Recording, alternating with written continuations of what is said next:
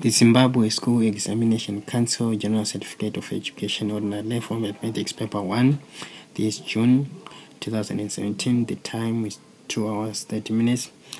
And here is an important notice. This booklet should not be punched or stapled and pages should not be removed. We must uh, take note of that. So let's get into the paper and start from number 1 this was number one. On top here there's an instruction. Neither mathematical tables nor slide rules nor calculators may be used in this paper.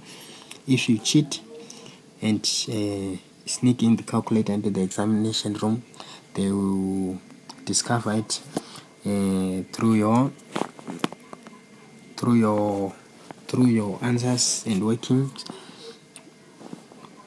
Number one express 68 comma 9 and 5 to the nearest 10 so if you want to um, uh, round off to the nearest 10 we go to the next uh, value which are units and see if they are greater than uh, 5 then this will affect the 6 so it will become 70 then to the nearest uh, 10th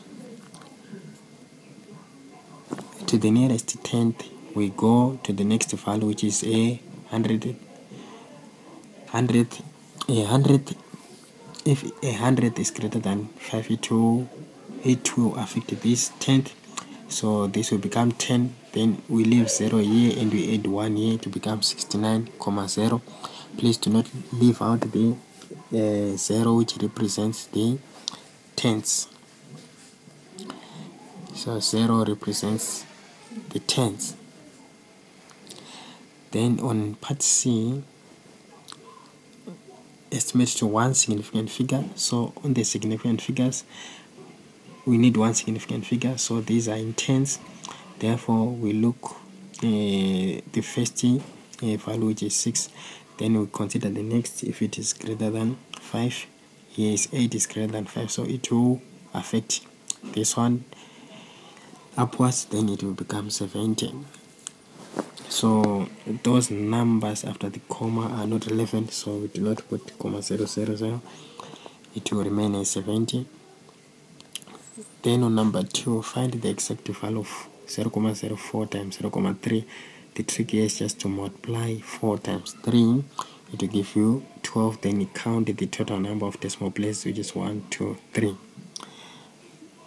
so 4 times 3 is 12 number of decimal places is 3 so here we count from the right to the left 1 2 3 we we put a 0 here as our third place order then comma 0 or alternatively you can turn them into uh, fractions.